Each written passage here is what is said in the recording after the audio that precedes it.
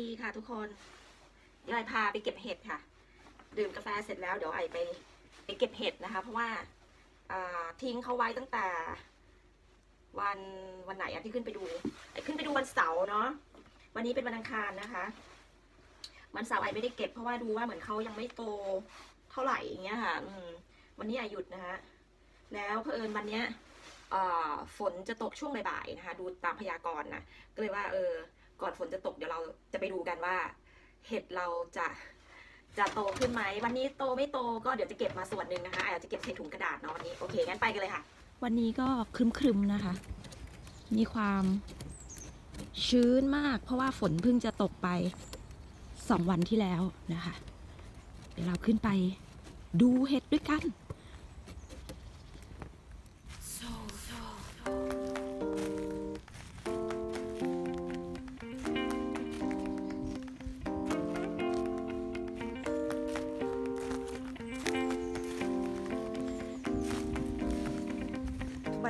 ก่อนที่พี่ขุนเขาจะออกไปทำงานใช่ไหม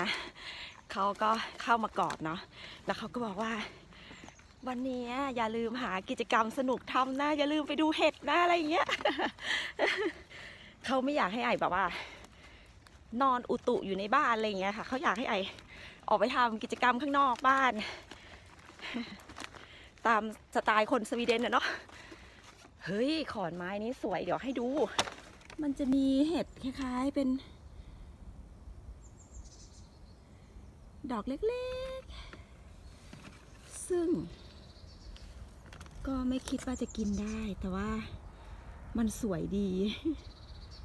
เนี่ยค่ะ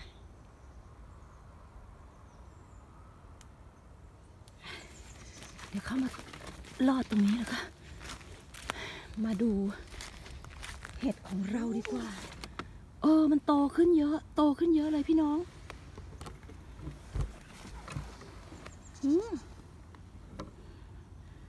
เดี๋ยวเดี๋ยวเดี๋ยวทางนี้ก็โตนะ เดี๋ยวนะ ก่อนจะเก็บนะคะ ให้พี่น้องดูว่ามันแบบ มันโตขึ้นเยอะจริง ๆ อยู่ใต้ขอนน่ะหวังว่าจะไม่เน่าแค่นั้นแหละ เพราะว่าแบบเหมือนเขาชุ่มชุ่มค่ะชุ่มน้ำมากเลยเดี๋ยว งั้นเดี๋ยวมาเก็บกันเลยค่ะ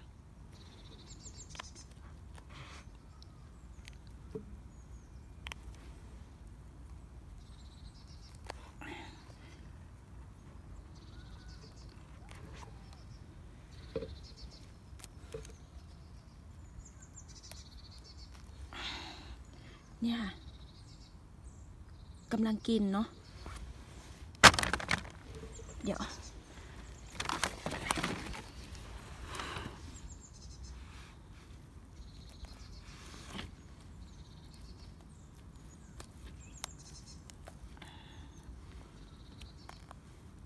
เก็บเห็ดนี้มีกั้นหายใจด้วยนะเอ้ยโอ้เย็นมากบอกเลยว่าวันนี้บวกหนึ่งนะคะ บวกหนึ่ง วกสองแล้วตอนนี้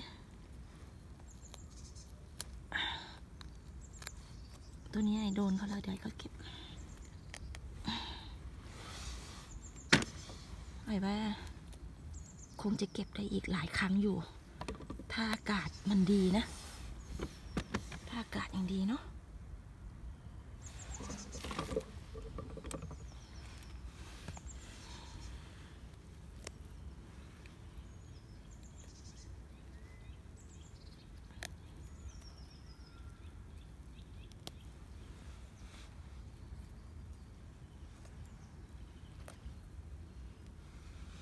คือไอมองไม่เห็นเดี๋ยวแป๊บนึงนะคะขออนุญาตตั้งกล้องไว้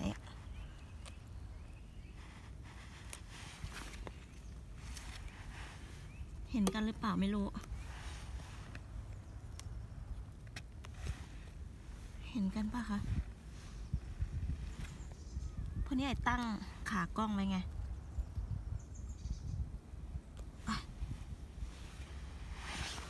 เนี่ยค่ะ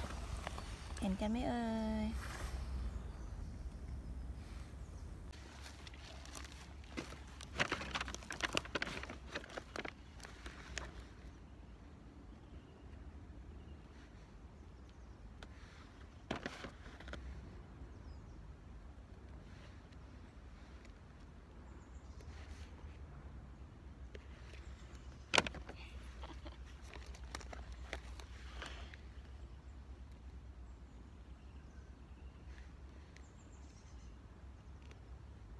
ต้ขอบ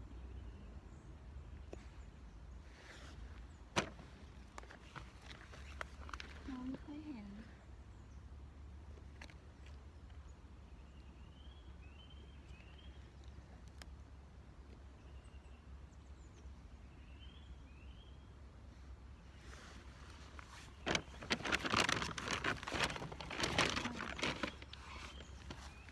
มันดู ยากนะคะ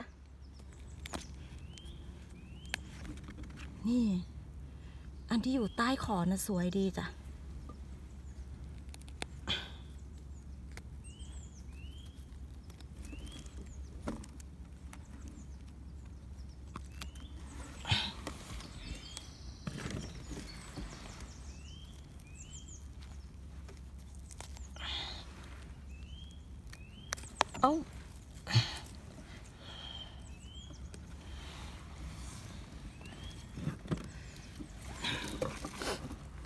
ถวๆเนี้ยจะเก็บไว้ก่อนนะ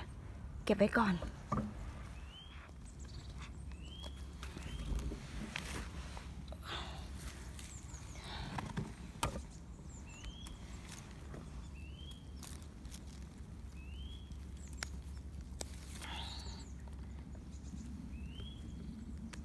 ฮะโอ้เยอะอะ เยอะมาก นุ่นแล้วก็นี่กำลังเกิดขึ้นเต็มไปหมดเลยค่ะ อยู่ใต้มอสเดี๋ยวไอข้ามดอกนี้ไป ค่อนข้างใหญ่อืมทิ้งไปก่อนพวกนี้ ยังเล็กอยู่ค่ะ ถ้าไอดูอีกฝั่งหนึ่งอะ มันจะเหมือนว่าดอกเห็ดอะใหญ่ ที่ไอบอกว่าถ้าดูถ้าดูจากฝั่งนู้นไอมองไม่ค่อยเห็นค่ะ ว่าดอกมันใหญ่แค่ไหนอะไรเงี้ย อืม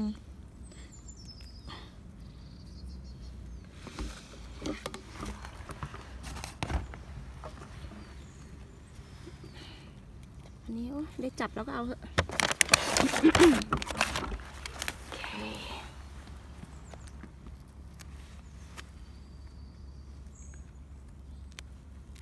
นี่เหี่ยว โอเคแต่คิดว่า เก็บแค่นี้ก่อนนะคะ วันนี้เก็บแค่นี้ก่อน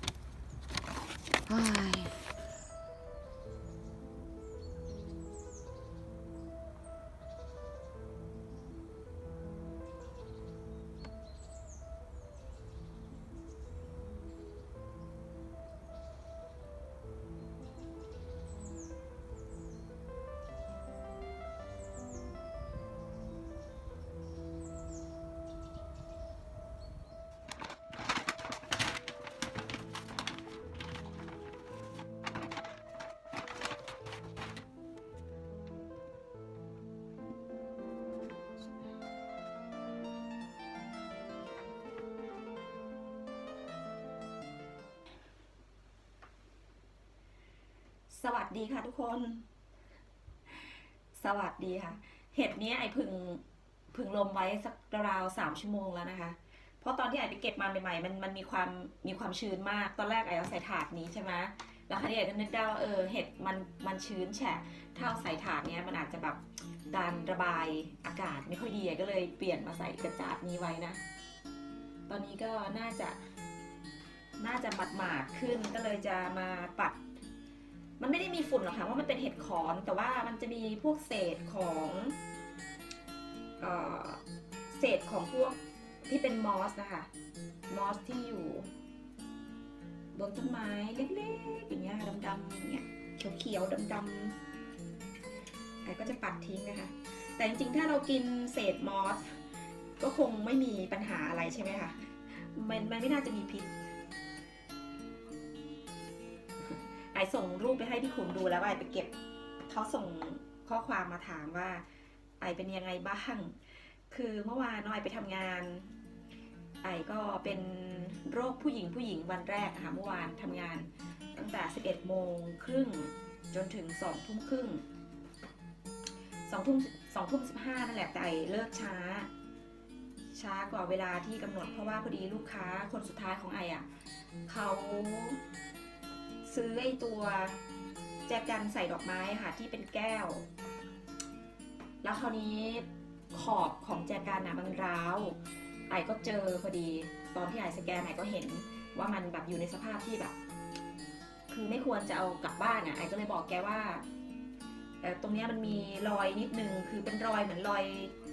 รอยเหมือนแก้วโดนถากออกไปนิดนึงอะค่ะ ไม่ใช่รอยร้าวแต่มันเป็นรอยแบบไออธิบายไม่ถูก เหมือนมีคนเอาอะไรไปเฉือนนะคะแกก็เลยบอกว่าสงสัยจะมองไม่ค่อยเห็นหรอกไม่เป็นไรหรอกอะไรอย่างเงี้ยเพราะว่าห้างก็ปิดแล้วไงห้างก็ปิดแล้ว ข้างในในร้านเนี่ยเขาก็ปิดไฟหมดแล้วอะไรเงี้ยไอ้ก็บอกว่าเฮ้ยยูซื้อของอะยูก็ต้องได้ของดีสิแล้วเนี่ยฉันเห็นแล้วไอ้ก็เลยโทรหา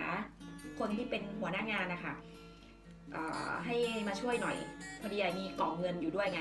แล้วคราวนี้ไอ้ก็จะวิ่งไปเอาของให้เขาหรือจะให้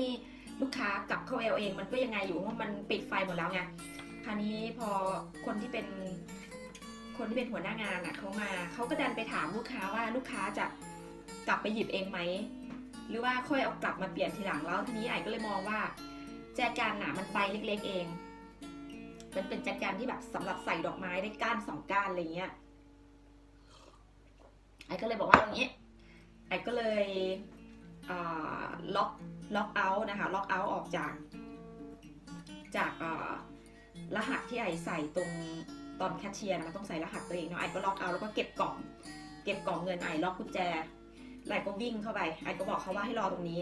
เพราะว่าไอแผนกที่ขายจัดการเนี่ยไอรู้ดีเพราะไอทำงานที่แผนกนั้นพอดีนะคะ เวลาไอทำงานขายอะไอก็วิ่งวิ่งเข้าไปวิ่งใส่เกียร์เกียร์ร้อยเลยแหละ ใส่เกียร์หมานะคะ นั่นแหละไอ้ก็เลยเลิกช้าค่ะไปหยิบแจกันให้ลูกค้า แล้วก็ไอ้ก็ถึงได้เอาเงินไปเข้าแบงก์อะไรเงี้ยI ก็งงว่าเฮ้ยคนที่เป็นหัวหน้างานเขาควรจะมีแบบ service mind อะเพราะว่าถ้าเป็นหัวหน้างานคนอื่นๆอะ โดยปกติเขาจะเป็นคนอาสาที่จะไปหยิบของให้ แต่คนนี้ คนนี้เหมือนเขาเพิ่งมารับตำแหน่งได้ไม่นานอะเขาก็ไม่ไม่รู้ว่า เขาเขาจะต้องทำขนาดนั้นไหมอะไรเงี้ยคือวิ่งไปหยิบของให้ลูกค้าแต่แต่ I อะคิดว่าเอาน่านิดเดียวอะไรเงี้ยแล้วมันก็ไม่ได้ไกลด้วยอะไรเงี้ยค่ะ อืมแต่ก็เลยอะอาสาวิ่งไปก็เลยนั่นแหละค่ะออกมาช้าเลยนะคะพี่ๆน้องๆก็อยู่ที่เมืองไทยไออ่านข่าวอยู่นะไอตามข่าวเรื่องโควิดอะค่ะโควิด -19 เนาะไวรัส ก็เห็นพี่ออมก็แชทมาถามไถ่นะคะ บอกให้ระมัดระวังดูแลตัวเองอะไรอย่างเงี้ยค่ะ ก็เนี่ยค่ะไอกับพี่ขุนก็คุยกันอยู่ทุกวันนะคะก็เมื่อวานนะคะ เห็นลูกค้าคนหนึ่งใส่ ใส่แมสเข้ามาที่ห้าง เป็นครั้งแรกในรอบ กี่ปีที่ไอทำงานอยู่ที่อีเกีย แล้วเพิ่งจะเจอคนนี้เป็นคนแรกที่ใส่แมสเข้ามาไอก็บอกไอก็มองเขาแล้วมันเป็นมันเป็นช่วงเวลาที่ ที่ไออะยืนอยู่ตรงจุดจุดจุดทางเข้า ชั่วโมงนั้นพอดีเลยเข้ามาเขาก็ใส่แมสมาเนาะไอก็เอาแล้วไอก็มองมองดูในใจคิดอยู่สองกรณีหนึ่งกรณีที่เขาเขาได้รับเชื้อหวัดมาอาจจะเป็นเชื้อตัวอื่นนะนะ หรือสองเขากลัวการเข้าในห้างสรรพสินค้าเขาก็เลยใส่แมสมา แล้วนางก็เดินมาถามไอเขาจะเข้าไปที่แผนกพวกกล่องของที่ขายของ เขาจะเข้าไปในแผนกที่ขายกล่องพวกเก็บของเออไอก็บอกเขาว่าอยู่ชั้นนี้แหละก็ชี้ไปบอก ก็คือได้คุยกับเขาในระยะประมาณหกสิบหกสิบเจ็ดสิบเซนติเมตรนะคะ ระยะห่างอืมแต่เขามีแมสนะคะ คือโดยปกติเนี่ยถ้าสมมติเขาป่วยจริงอะ่ะแล้วเขามีแมสปิดไว้อะ่ะนะคะ แล้วเข้ามาในห้างแบบนั้น แล้วก็รักษาระยะห่าง อย่างเงี้ยไอคิดว่า คือก็ไม่ทำให้คนอื่นเกรงกลัว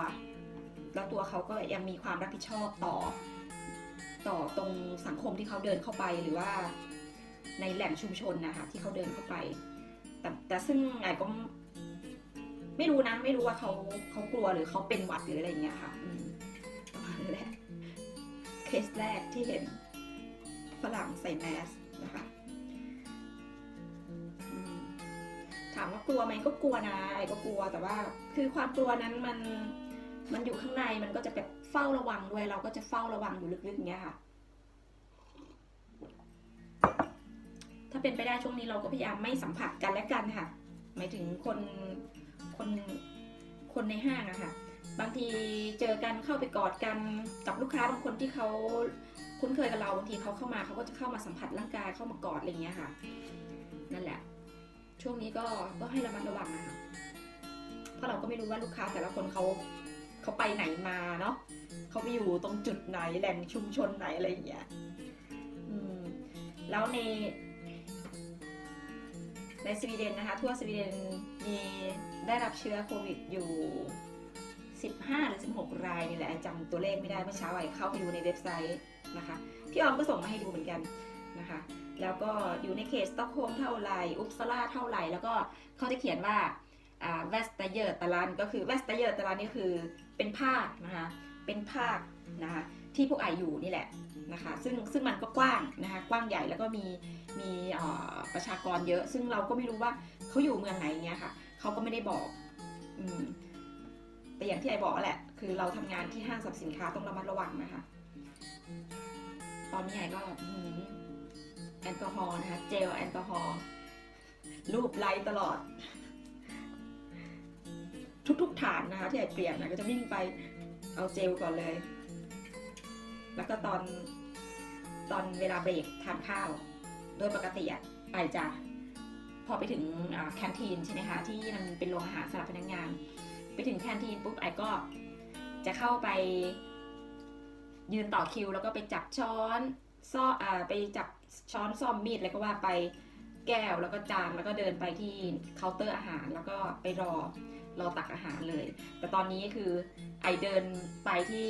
ห้องน้ำหรือไปที่จุดที่เป็นอ่างล้างมืออะไรอย่างเงี้ยค่ะ โดยตรงค่ะ ล้างมือฟอกสบู่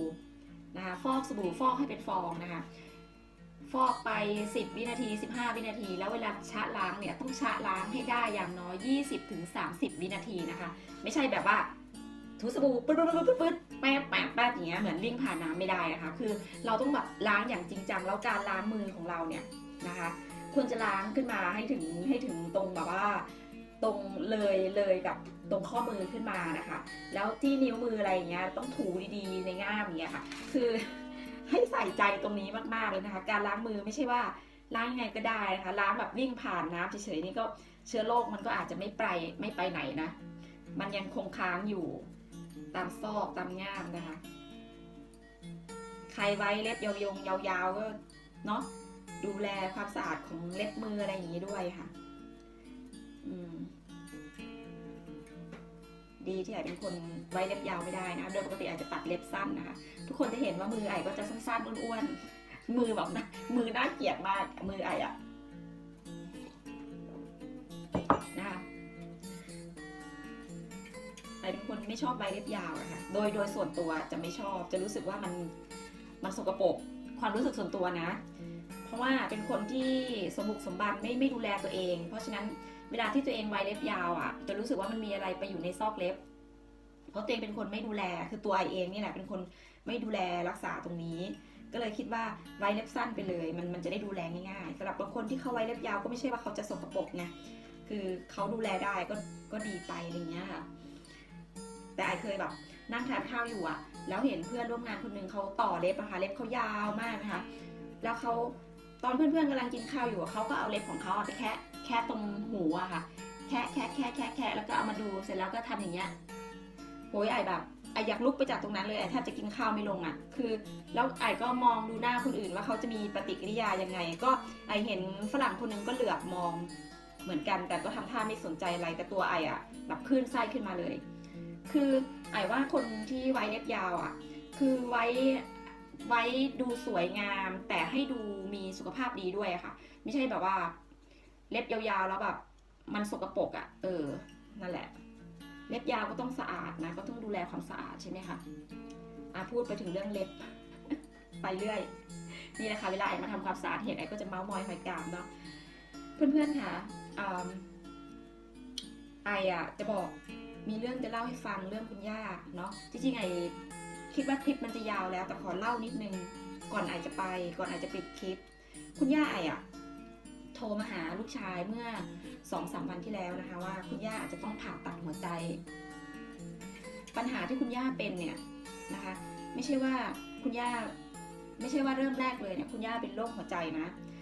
ปัญหาที่เจอตอนแรกๆเลยคือมาจากเลิกจากโรคความดันแล้วก็คอเลสเตอรอล ในในในเส้นเลือดเยอะสูงอะไรเงี้ยค่ะความดันสูงอะไรเงี้ย